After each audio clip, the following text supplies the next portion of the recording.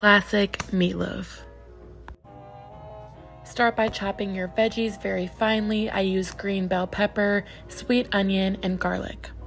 In a large bowl, combine your ground beef, your veggies, spices, and then some butter crackers. I use Townhouse, but any butter crackers will do. Just follow the instructions on the screen and then combine it all with your hands. Don't be afraid to get messy. Add it into a pan Add some chicken stock and bake it for 30 minutes at 350 degrees Fahrenheit. Add your ketchup topping and then bake it for 40 more minutes. While that's baking, make your gravies and sides.